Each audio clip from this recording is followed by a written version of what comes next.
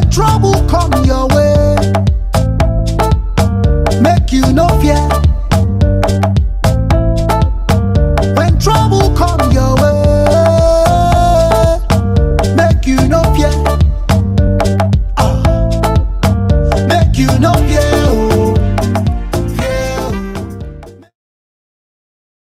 Good morning, good afternoon, and welcome back to BOF Live. I'm delighted to welcome you all to today's discussion on how e commerce and SMEs are transforming Africa's fashion industries. The inspiration for this conversation was a report published by Ananse entitled Unleashing the Commercial Potential of African Creatives Through Digital Technology. And it was created in partnership with MasterCard, Botho Emerging Markets Group, and the African Development Bank's Fashionomics. The report outlines how entrepreneurial ventures are transforming the African business landscape and investigates technology's role in accelerating industry transformation and influencing consumer behavior. And I'm delighted to have my esteemed panelists with me today. Uh, firstly, Samuel Mensah, the founder of Ananse and the driving force behind the report. Samuel, thank you for joining us from Johannesburg. Pleasure to be here. Um, secondly, uh, Aparupa Chakravarti, the a director at Botho Emerging Markets Group, who played a critical role in the creation of the report. Thank you, Aparupa. I believe you're joining from Nairobi. I am indeed. Thank you for being with us. And I'm delighted to also welcome Mercy Mutua, the head of access to finance at the MasterCard Foundation. Thank you for joining us, Mercy. Thanks, Robin. A pleasure to be here. Where are you this afternoon? I'm also joining from Nairobi. Lovely. Um, some of the topics today that we'll be covering include how the rise of ride sharing and delivery apps are mitigating the challenges of last mile delivery in key markets and developing logistics networks in the process. We're going to discuss how entrepreneurs are increasingly leveraging the exponential growth of digital connectivity and evolving consumer behavior to drive business growth through social commerce. And finally, we'll discuss the potential of the African continental free trade area to increase synergies in productivity, lower barriers to trade and movement of skilled employees, and really tran- help transform the creative, uh, creative industries in Africa's productivity. Just quickly before we begin, some housekeeping. The chat box is open. Please do introduce yourselves and let us know where you're joining from. Likewise, do drop questions into the Q&A box and we'll do our best to answer all questions that are relevant to the wider community um, is, if we have time to. Um, and finally, I'd like to welcome our audience on YouTube too. too. So with that said, let's begin. Um, in unleashing the commercial potential of African creatives through digital technology, the report, you know, state really focuses on three core recommendations made to which will help accelerate the industry's evolution. The first is to provide adequate funding to creative entrepreneurs. The second is to create opportunities for skills development. And the third is really ensuring that there is an e-commerce focus to ease trade between countries. But before we dive into those areas, Sam, I think it would be fantastic if I could turn to you and really, with in keeping the survey in mind, that was one of the underpinning elements of the report. How has existing market activity and entrepreneurial ventures helped to transform the market landscape in Africa to date? Great. Um, thanks, uh, Robin. So the, there are a number of things that are kind of all coming together at the right time. Uh, we are seeing uh, the uh, increase in broadband connectivity rates and higher internet speeds uh, across the continent. There have been several uh, undersea cables that have landed all along the coast um, in the last, you know, f- five to 10 years. So access to um, connectivity has improved significantly. At the same time, uh, you're seeing the prices of smartphones um, and connected devices coming down. Um, and additionally, you're also seeing a trend towards more increased use of digital payments, um, increased use of mobile payments. Um, you are also finding uh, fintechs that are sprinkling up, that are solving some of the f- payment problems uh, around, uh, around the continent. And then there are also innovations, uh, innovations around uh, cash on delivery, but for, but for e-commerce transactions.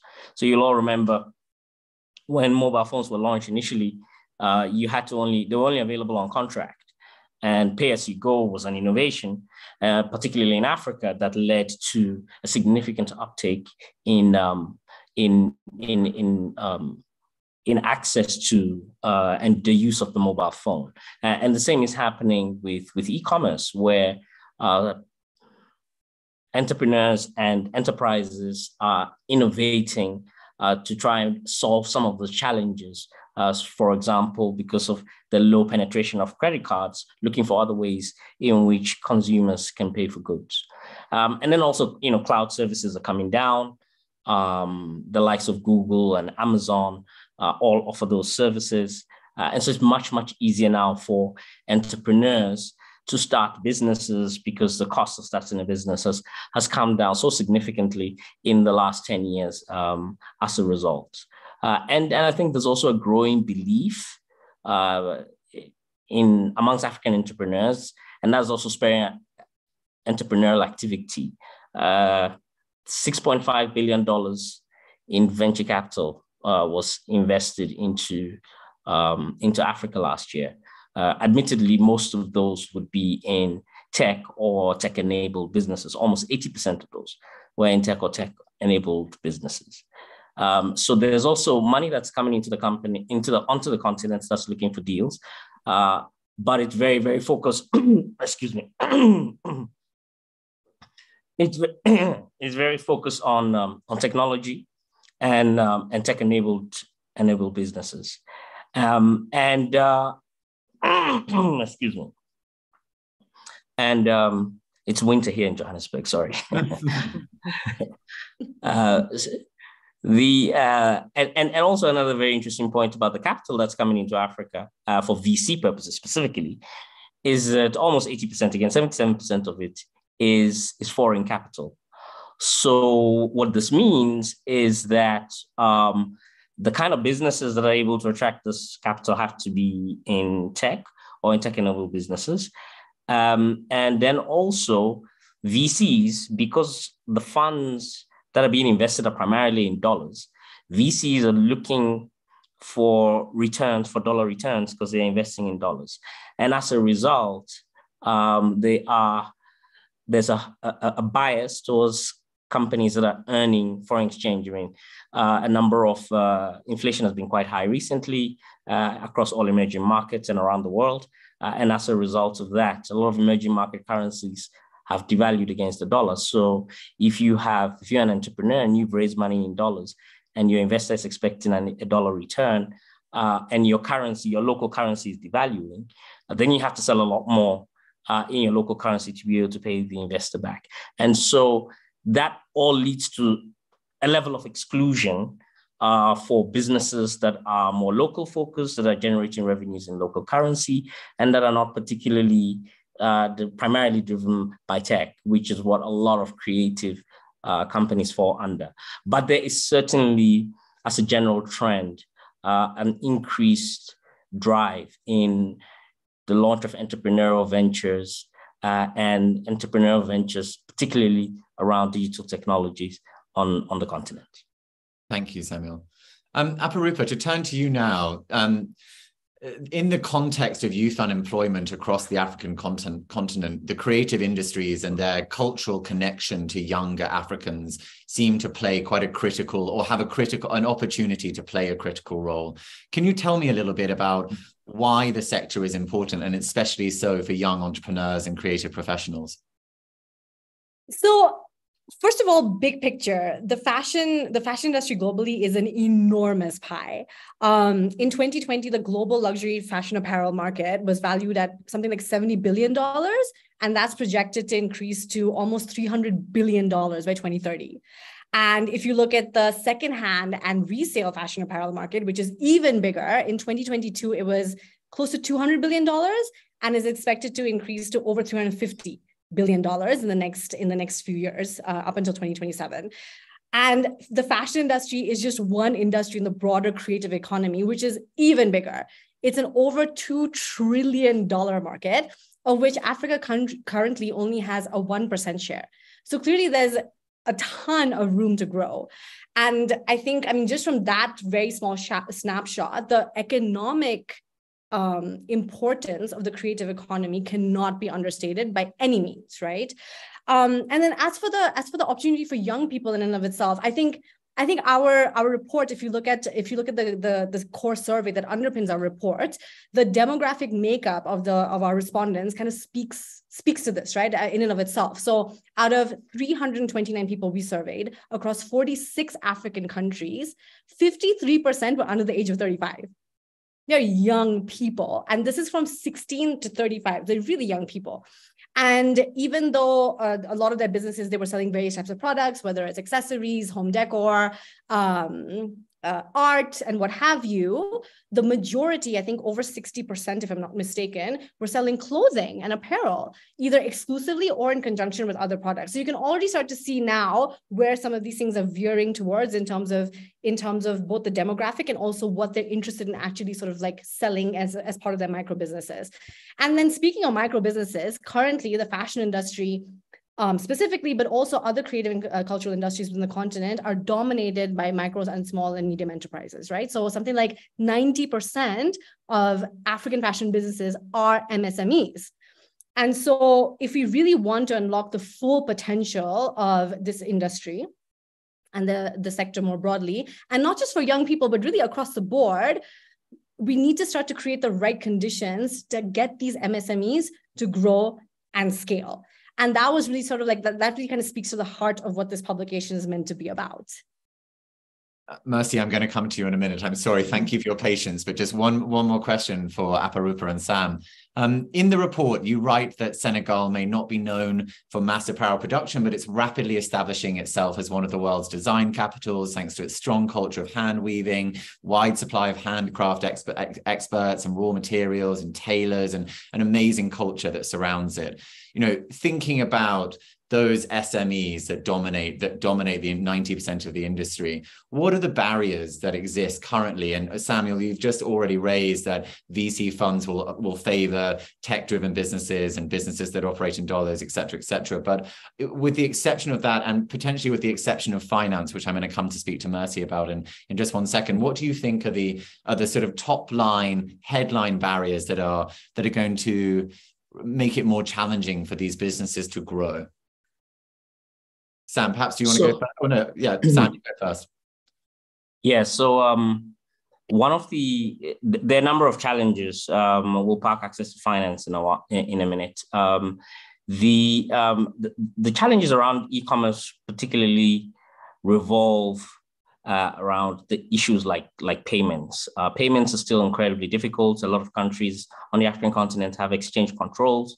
Uh, it makes uh, trading across barriers and uh, moving money, pay, making payments and receiving payments across barriers quite challenging. Uh, and so that that that that that is in itself is a challenge. There's also a challenge around when it comes to um, e-commerce around skills um, the understanding of how to use e-commerce platforms, how to set up um, how to set up themselves on an e-commerce platform, uh, how to manage one, um, how to basically just run, uh, you know, the e-commerce, whether it's Shopify, Ananse, or some other platform.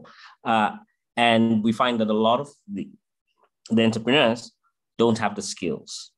Uh, the other challenge is really around scaling um, and what happens when they are able to secure large orders and the uh, the opportunities that are available to trade with bigger buyers, off takers internationally, securing those large orders, and then being able to actually fulfill those orders you know, that has a working capital element, of course, and then there's also the logistics of having the products move from, say, Senegal or Accra or Johannesburg uh, to wherever they may be going um, in the world.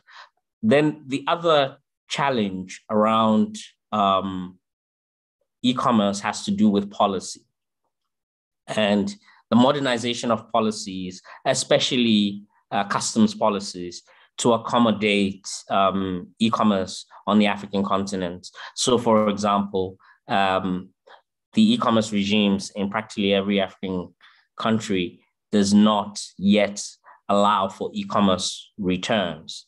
So, uh, if you are in an African country and you have a customer in another country and they try to return a product to you, the customs authority in practically every African country treats it as if it's a new product coming in.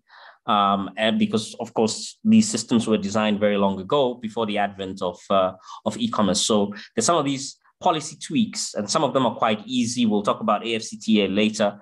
Um, some of these policy tweaks that uh, will make markets a lot more attractive for e-commerce and make it so much easier for some of these really talented, creatively talented um, designers and artisans to be able to trade more effectively, especially internationally.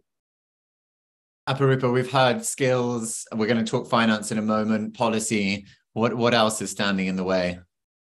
So I think the important thing to kind of recognize is that insofar as social media and e-commerce together have really helped small businesses sort of expand their reach a, and visibility in a lot of ways, the pro, the, prolifer, the proliferation of these kinds of digital enablers in and of themselves is not always enough, right? So 65% of our survey respondents were already selling online, which is huge. It's the vast majority.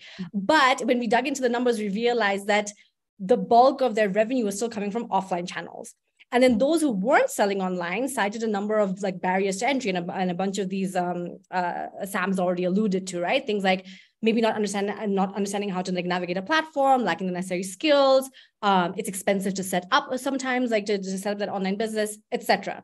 And so I, I, think e-commerce is an incredibly valuable opportunity here, but there's a lot of environmental things that need to be addressed. I won't I won't sort of uh, regurgitate what Sam has already mentioned, but I think the one thing that I would like to add is there are also sort of socio-cultural factors around this that also need to kind of be um, taken into consideration. And I think one of these, for example, is around trust.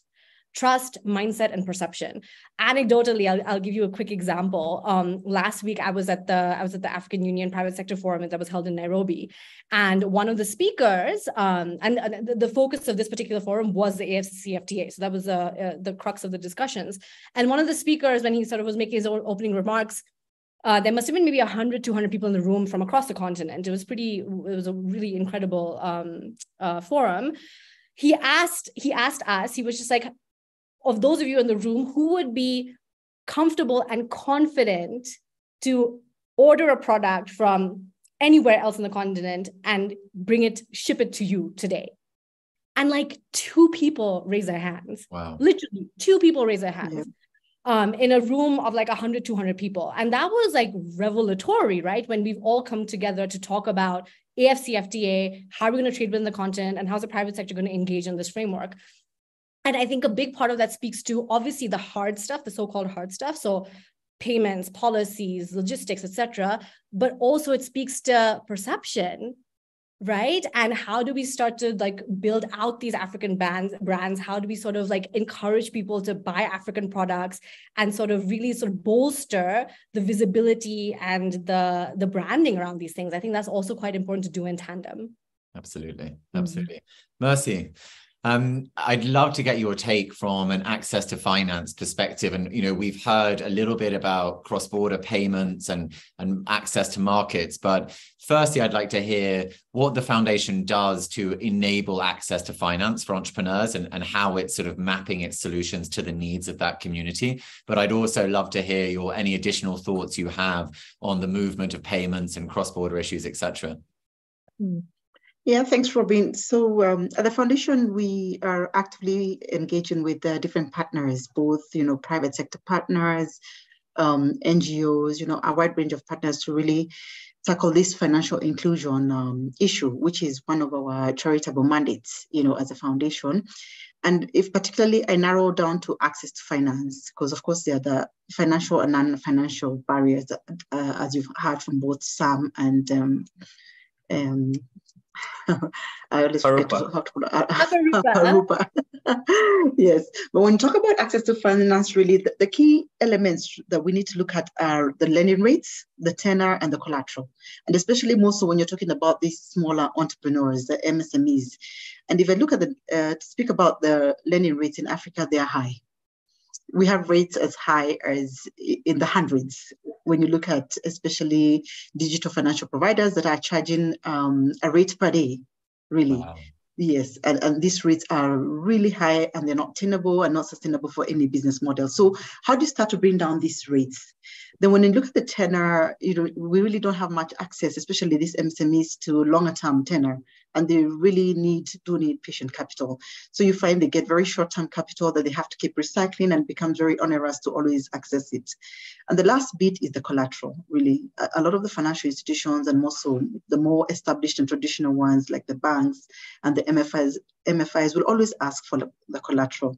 Now, when you look at this particular sector, what's the main collateral really? It's the intellectual property. And what is intellectual property? It's so intangible. How do you price it? How do you value it? How do you collateralize it? It's, it's difficult. Hence, this is the, it, it becomes a very vicious cycle. This is the only asset that they entrepreneurs have that they can offer to the financial institutions, but the financial institutions do not know how to, to manage it as a collateral, hence really do not accept it as a collateral. And, and then so it just becomes a vicious cycle in terms of really how these uh, MSMEs can access capital.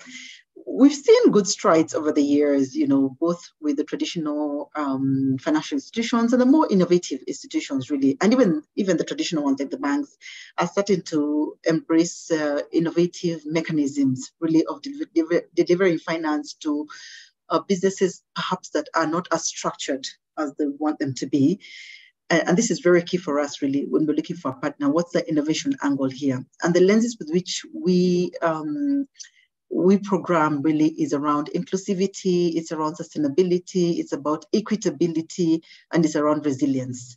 You know, those are the lenses we wear when we're partnering with any institution. So being aware of some of these um, risk elements, we, we try to then uh, identify a partner that's able in some one way or another address the issues. And, and, and interest rate really became be, be, is the key issue here because it, as I said earlier, the rates are high. And if you see what really constitutes an interest rate, is two key elements amongst the others. It's really as a financial institution, institution, where do you source your capital from? If it's expensive capital, you pass on this cost to the MSMEs. If it's not expensive, likewise, the MSMEs will benefit. And you find a lot of these MSMEs are really closer to the um, SACCOs, the fintechs, the MFIs, who really do not have much access to uh, cheap capital. They mm. tend to borrow from the banks, so they become the bank's customers. So they load on this expense really um, layers on and is passed on to the MSME. So it becomes very expensive. The other element is around risk, whether perceived or real. If a sector is perceived to be risky or it has real risks, then of course this increases the costs of lending to this sector. And the creative sector is really perceived to be risky from a lot of angles, and especially back to the IP element and how it's structured as, as, as, a business. You know, the value chain is very fragmented. A lot of the, the players or entrepreneurs in this sector are informal, they are small, they are unstructured, they're not consolidated. So it's really, it's real, and also the perceived risk really amplifying the cost of lending to these um, MSMEs. So for the foundation, we do not shy away from um, being an active player in uh, catalyzing really how we can um, um, include them in the financial inclusion ecosystem. So as I mentioned, we have these interventions that we um, that are deployed through our partners. But besides the interventions, our avenue is not just to pilot interventions, but as we pilot them is to tackle the systemic issues. What are the underlying issues? Um, and this was alluded to earlier, the perceptions, the mindsets, the practices really, they need to change to have longevity and sustainability in some of these um, interventions that we're involved in, because an intervention in and of itself will come to an end. And what outlives it? So mm. it becomes sort of a two-pronged approach where, yes, we are piloting interventions, but the whole idea is really then to to activate sustainable ecosystem issues that will outlive the intervention.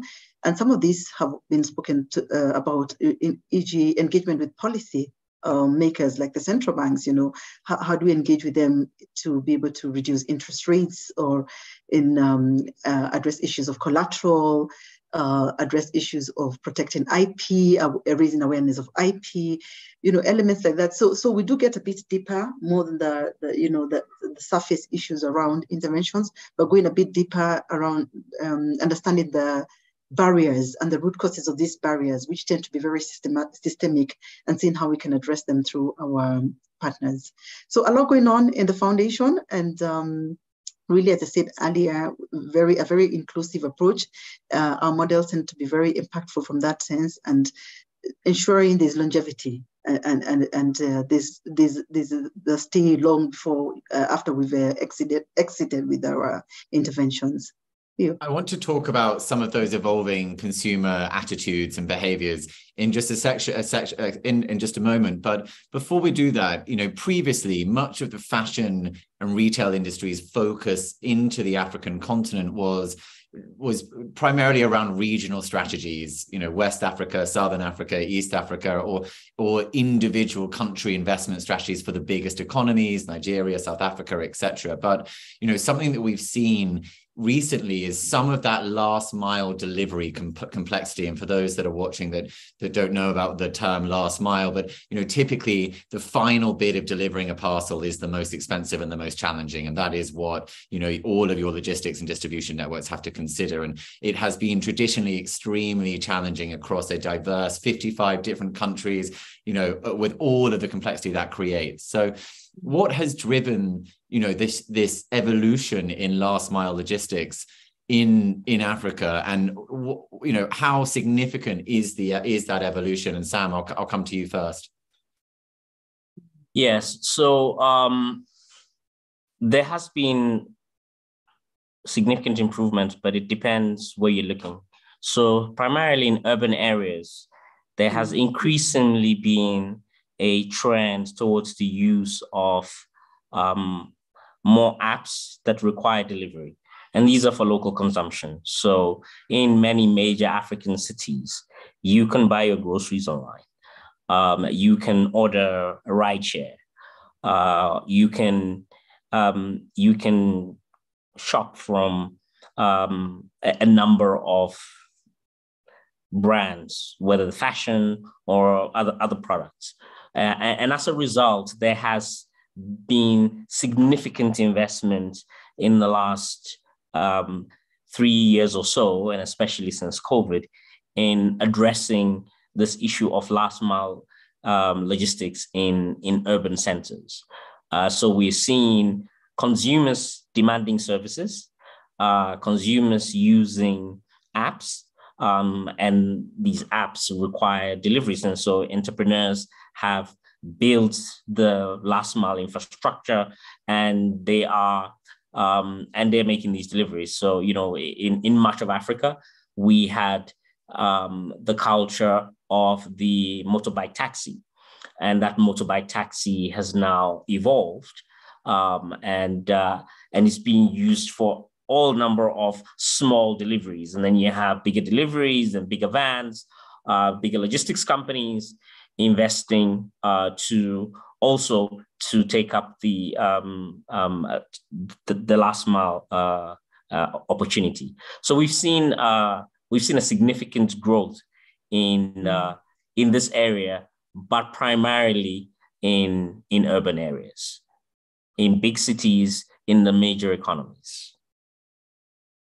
Aparupa, thinking about infrastructure from a slightly different angle now, but uh, similar to the impact of ride sharing apps and delivery apps.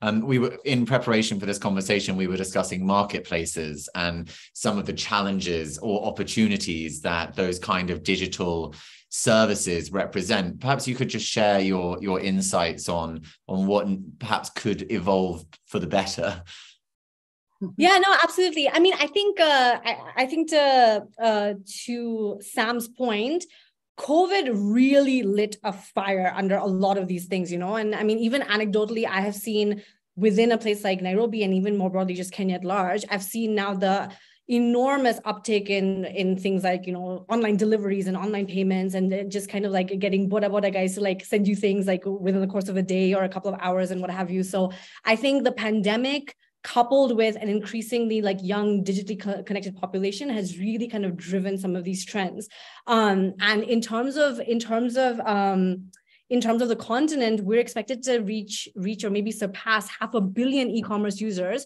um, by 2025 and also projected to continue with like fairly strong growth um, even through 2026. And this is despite sort of like not great macroeconomic conditions and what's happening in the world at large. Even despite that, this growth is expected to sort of continue and probably surpass other regions of the world. So, from that piece of it, e commerce, I think, is very much here to stay and it's growing.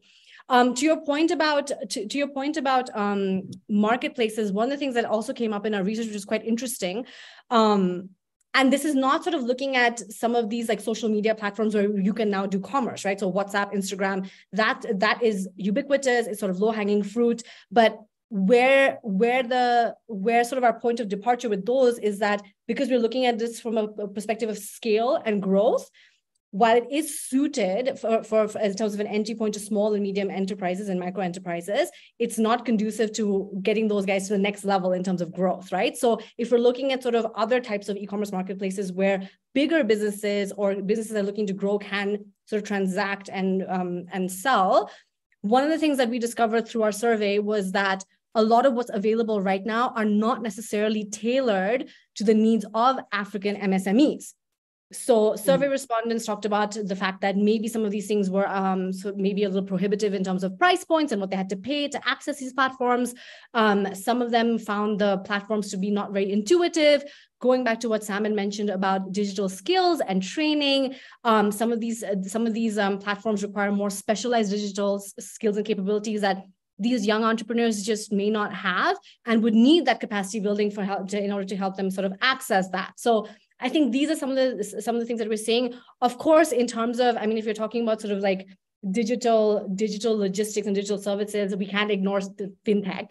Um, everyone knows nigeria is like africa's fintech darling. Um, kenya is a regional hub in east africa south africa for southern africa and egypt for northern africa. These are kind of the usual suspects and there's a ton of really interesting progress and things happening there um, but I think there's also other parts of the continent where there's real growth and movement here, right? So just next door in Somalia, mobile payments right now account for, I think, something like more than 80% of all their transactions, which is enormous. Um, a couple of years ago, before sort of like some of these um, economic crises hit, Ghana was the fastest growing mobile money market in the world.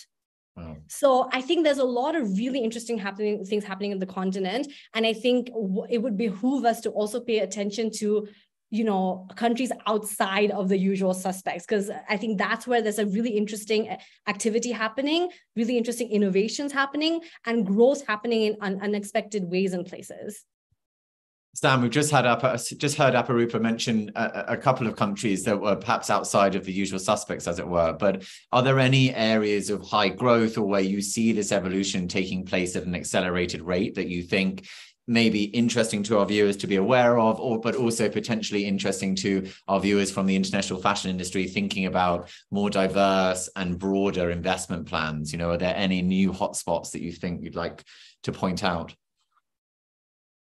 So, um, uh, you know, with my background in uh, in in large corporate, we always look for scale. So, for uh, international investors looking to come into Africa, I still think that uh, the less sexy traditional locations are still where you're going to get the most um, returns. Uh, so, you know, you're looking at South Africa, you're looking at Kenya, you're looking at Nigeria, um, Egypt, um, and perhaps and perhaps Ghana uh, in the in the top five. Um, these are strong. These are countries with strong um, logistics and distribution networks, uh, as prim- especially in their major, especially in their major cities.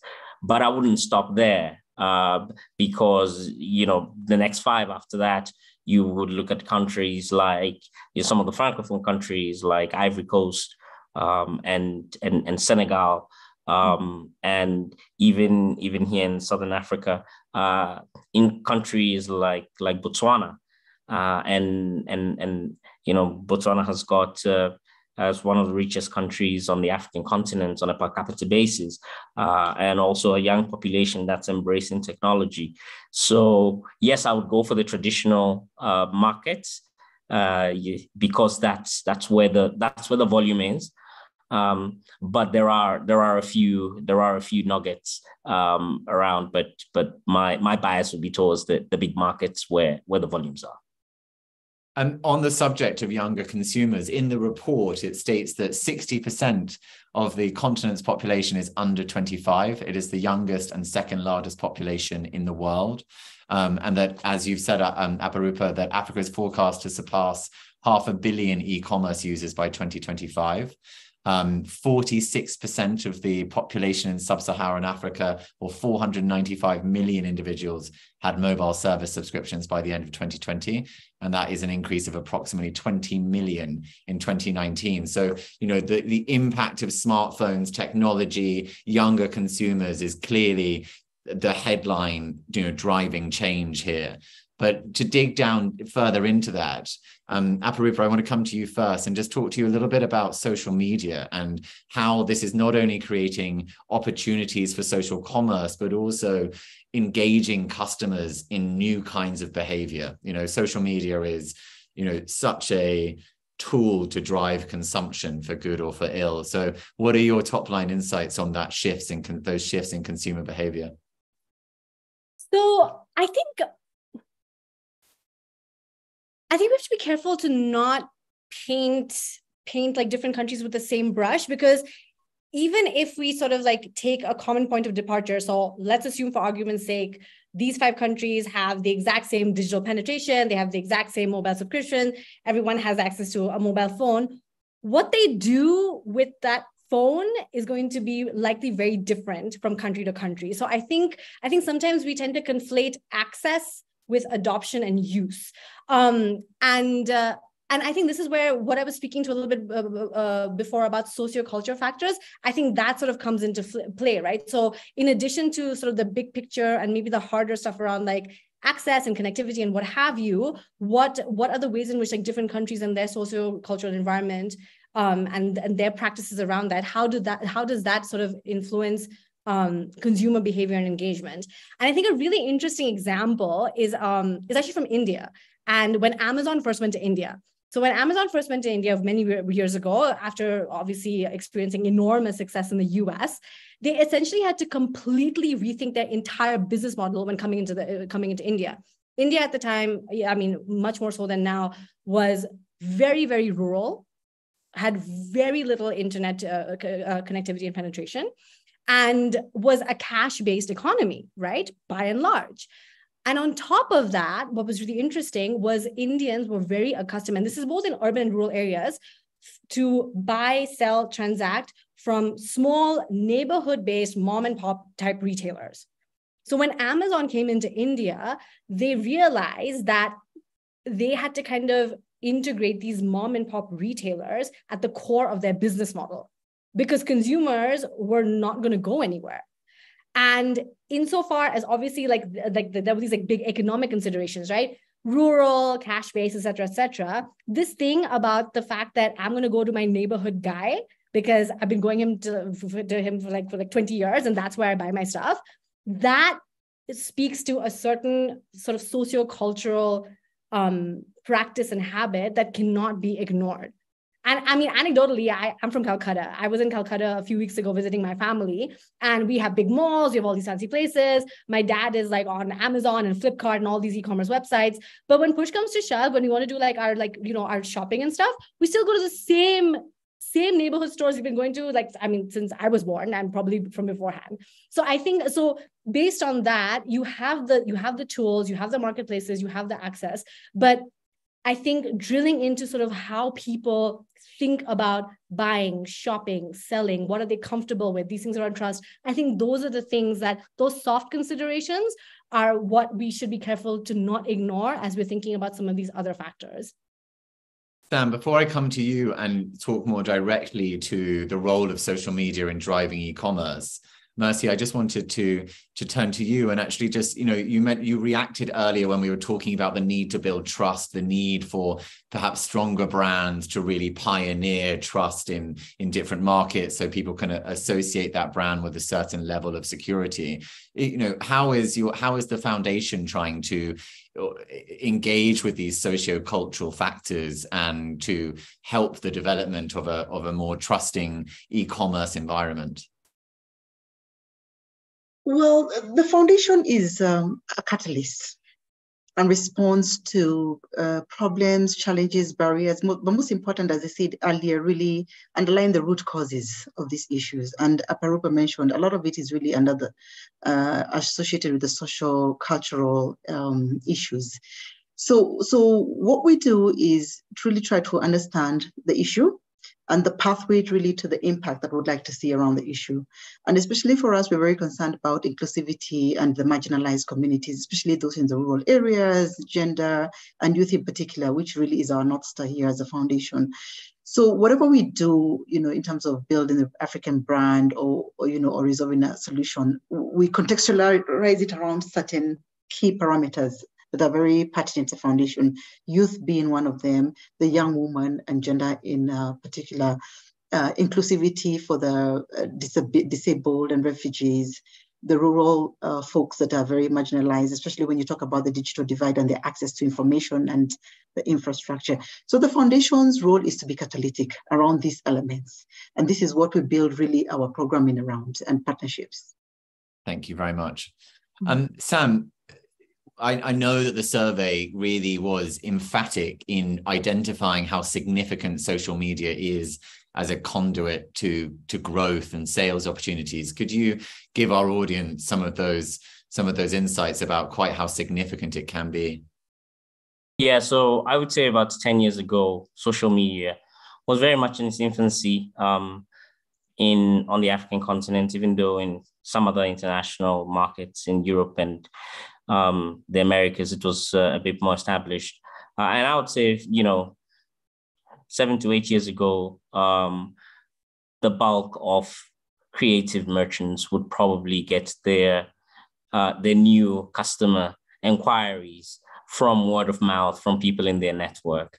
Uh, and what the report shows us is that in the last few years, social media has eaten significantly into the word of mouth market share, if you like, where they are now effectively equal. I mean, according to the data, I think it's 48.3% word of mouth of the designers uh, and the creative merchants that were surveyed, um, and uh, and 47 um, percent was uh, was social media, um, and and this is not entirely surprising, uh, just given the fact that um, the majority of Africans are now on on social media in one form or the other. Um, according to the World Bank, 72% of, of Africans use social media mm. to look for and discover uh, new products and, and services. So it's, it's, a, it's a really significant, and I think we were surprised by just how um, quickly social media has become normal. Um, and you know, every now and then there is uh, there is you know whenever there's an outage for Facebook or Twitter, uh, and and there is an outcry uh, when that happens, and it just shows you how critical um, these these platforms have become to people's daily lives um, across the African continent. I'm conscious of time and we have a couple of questions that I think will be useful for us to answer. So I'm going to move on now to our last topic of discussion, which is around the African Continental Free Trade Area. Um, it was established in 2018 by the African Continental Free Trade Agreement. And after the World Trade Organization, it's the largest free trade area by number of member states and the largest pop in population and geographic size, spanning 1.3 billion people across the world's second largest continent. Um, but its its need is very much apparent um, from our conversations in preparing for this talk. Um, it would appear from your your experience that Africans still trade more with the rest of the world than with each other in a general way. Obviously, there are going to be exceptions. It's far too big and far too diverse a continent to be able to make those kind of in generalizations. But intracontinental market inaccessibility has been a barrier for investment, and I want to dig down now into, you know, what should be prioritized to support the development and growth, not only of the SME brands that we're talking about, but of the creative industries at a top level. And Aparupa, I'll start with you and then I'll go to Sam. Sorry, Robert, would you mind repeating the question uh, once again? It just cut out a little bit. What should be prioritized to support brands and the development of the creative industries? I mean, I know, you know, what is your take on how effective the outcomes of trade agreements have been to this point and and where they should evolve to. Yeah absolutely. I mean the afcfta is incredibly ambitious and uh, uh, of course it's still a work in progress uh, because of the sheer magnitude of the agreement right and all the things that need to that need to sort of come into play for it to fully be uh, operationalized. Uh, for the purposes of this conversation i think i'll just touch on four four four areas around this. Um, uh, a couple sort of more general and a couple more specific to the creative industry and, and also particularly fashion since uh, that's uh, that's a big part of what we're talking about today. One is that there still is there is still relatively low awareness about the afcfta and sort of the the details around how to engage with the afcfta um, particularly amongst Africans private Africa's private sector. And this was called out during the AU Private Sector Forum last um, last week, and it's also something that has come up um, um, in the in the PAFTRAC annual Africa CEO Trade Survey that's been happening for the past couple of years. So that's that's that's kind of a big thing. Um, there's a general sort of excitement and there's general optimism about about the AFCFTA and the potential that it has for African private sector and intra intercontinental trade. But in terms of understanding how to actually engage with it, that's where there, there's considerable information asymmetry still. So that's a big part of what needs to be addressed in order to really sort of bring in the African private sector from SMEs all the way up to sort of larger uh, conglomerates and multinationals. Um, the second issue that I'd like to touch on is around rules of origin. I am no trade expert, so I'm not going to go into the details of it. Um, but essentially, for some industries, and I think it's notably something like textiles and, and automotive, if I'm not if I'm not mistaken, um, where in a lot of cases across Africa, there's much higher imports than domestic production and exports. Um, it's been difficult to kind of harmonize rules of origin for, for these industries. And, and as a result of that, th- that's kind of slowed down the ability to in, sort of include these industries in the, in the broader continental free trade agreement. So that's another thing that's kind of been like slowing down the progress in terms of uh, including things like uh, textiles and apparel, fashion, and the broader creative uh, industry into, into the framework. Um, also somewhat related, a lot of the instruments um, that the that the AFCFTA has launched are not yet fully operationalized, right? So something like um, the Pan African Payment and Settlement System, for example, which was launched in um, early 2022, if I'm not mistaken, it's still i mean it still doesn't have that much uh, in terms of sort of activity. I think as far as uh, as far as i know only eight central banks and maybe 28 commercial banks have sort of been actively become actively involved in the PAPSS network. Um, but obviously I mean, compared to the continent at large a lot more of these banks need to get involved in order for this to kind of like be rolled out at scale um, and then finally, and I think this is an important recent development, which was that um, the African the African ministers agreed, uh, a cohort of African ministers uh, agreed to um, basically ban um, second the trading of second-hand clothing under the AFCFTA. And that's incredibly important because a lot of national and regional value chains within Africa have been severely negatively impacted by the import of very cheap secondhand clothes. And this is true everywhere, right? I mean, Kenya is a great example where mitumba is, uh, it makes it very difficult to be competitive in producing new clothing with like sort of for domestic consumption because of these things. So I think that was a big a big and very significant um, development that has happened recently that's specific to the fashion industry. Samuel, thinking about brands specifically and potentially some of the skills issues we've heard about or, or anything else, what, what do you think should be prioritized in terms of regulations or support for brands specifically? Uh, so just just to uh, before I answer that question, Robin, uh, just to Aparupa's point, uh, the survey also reinforce this message about the need for a single market uh, like what the AFCTA is trying to, to achieve. Um, less than 4% of the designers surveys are selling to other African countries. Um, and yet about 15% are selling internationally. Um, and then the other 80%, 80 or odd percent comes from their local market. So uh, the reduction of barriers within trade barriers within Africa itself will, our data suggests, will have a really significant impact on um, on designers being able to fulfill uh, demand from from from neighboring countries. And we know anecdotally that you might be in Kenya and want something from Nigeria because you know they do the best tie and dye, um, or you might be in South Africa and want you know sandals from Kenya because they make the best sandals, or you want um, a bubu or a kaftan from Senegal, um, and Africans really want to buy from each other. And so far, that has been that has been very difficult with the existing set of trade rules. So uh, we're going, I think we're going to see a significant impact um, in, on the fashion and creative sectors when the uh, AFCTA becomes fully operational. Then, in terms of um, how how else do we support brands? I keep coming back to so I would say there are two things that that, that need to be done. Um, I think the first would be um, policy. Uh, there's some easy policy wins that can be addressed uh, to make it easier for brands to do business, especially uh, cross border. Um, there are also uh, issues around um, standardization frameworks. Uh, anybody who's traded, say, fashion products in in Europe knows that you know the sizing that you would use in Italy and uh, you know the sizing that you would use in in the US um, may not necessarily be the same.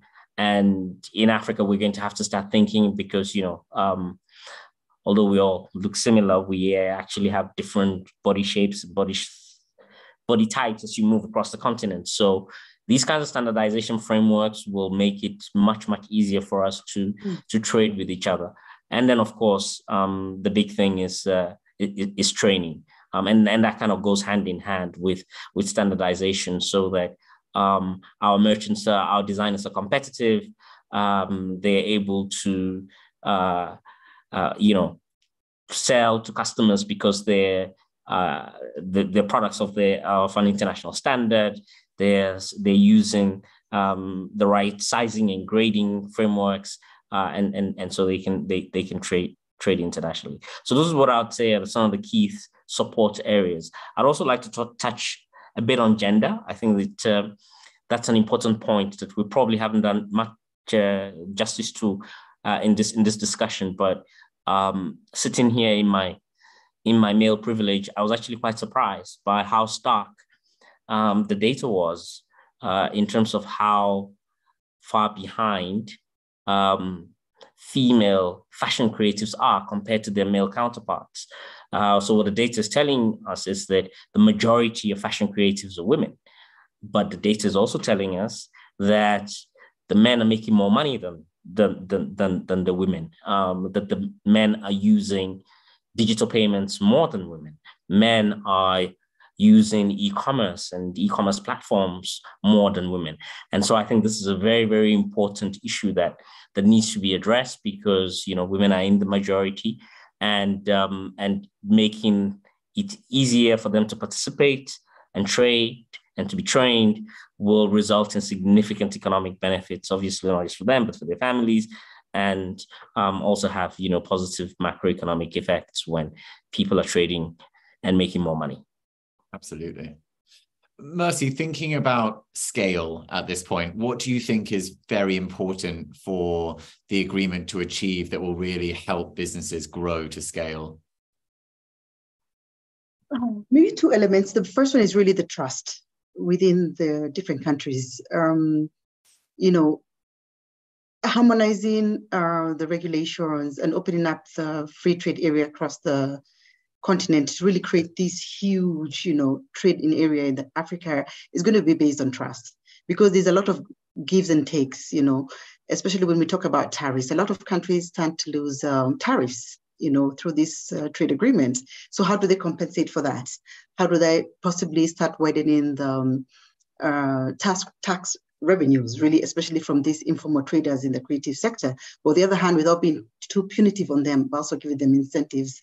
So that's another way of scaling, really. But also the intellectual property for me is a big one, where um, there's need to protect it and commercialize it beyond what's being done right now and really recognizing its value both by the MSMEs themselves and the financial institutions. Thank you very much. Um, just before we turn to our final question, I'm going to ask two of the questions from the audience. Um, one is, are there African e-commerce platforms that you've come across that address any of these barriers in terms of skills and language? And has your research considered WhatsApp business and more low-tech platforms to cultivate more trade and transactions, which I know I know it has. But are there any e-commerce platforms that you think are better aligned to the entrepreneurial culture and needs of African entrepreneurs? So I think, oh, was that to me? Um, to anyone. Yeah, let's start with you, Sam. Yeah, I mean, so I think there are a number of e-commerce platforms on the continent, but unfortunately, none of them is quite providing the full range of support services that are required. You know, I, I like to call it foundational.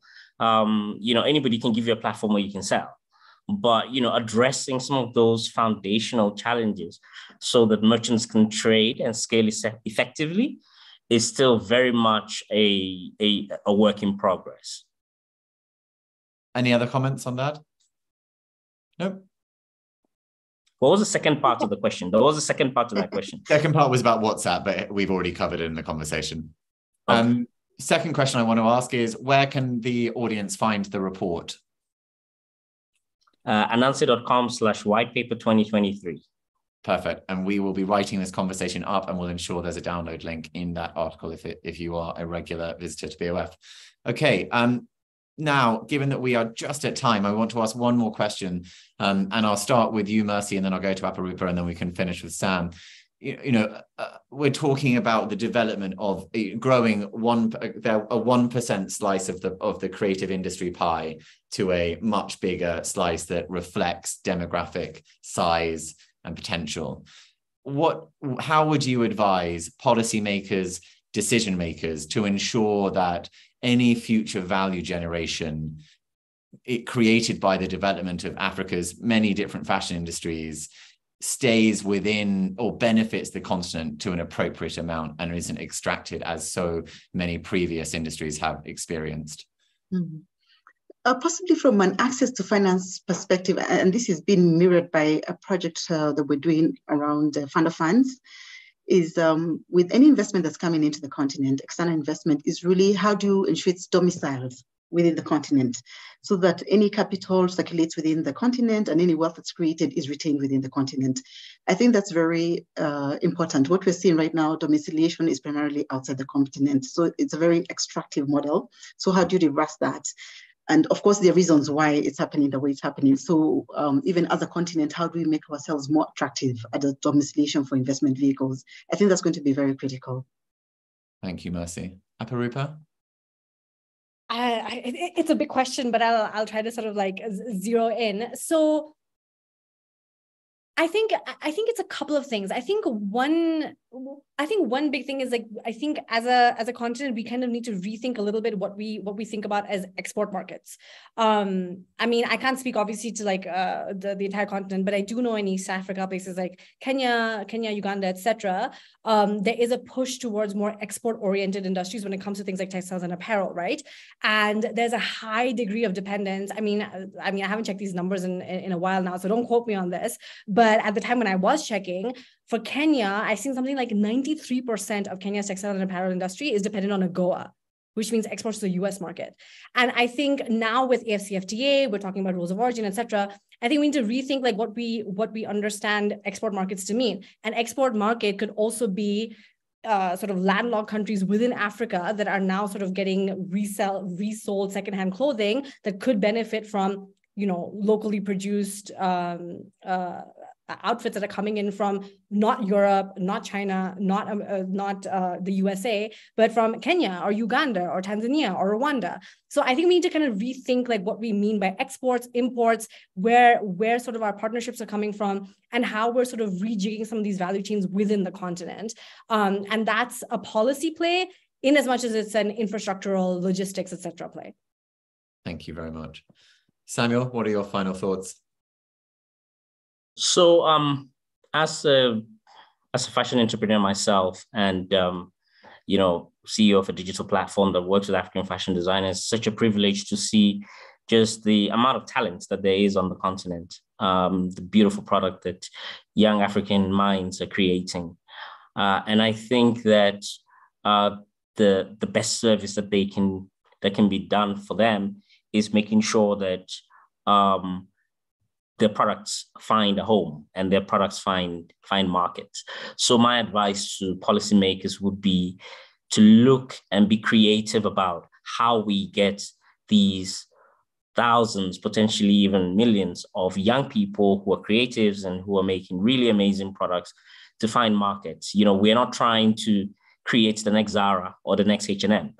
It's a different model. And we mm-hmm. need to think creatively about how we get these, you know, beautiful, special, um, small runs to customers all over the world and find them a market because you know some of the products are really quite amazing which is far more aligned with some of the seismic changes we're seeing globally about identity and concern and narrative and storytelling around products thank you all so much for your wisdom and insight and expertise. Um, I've learned an incredible amount and enjoyed talking to you all very much.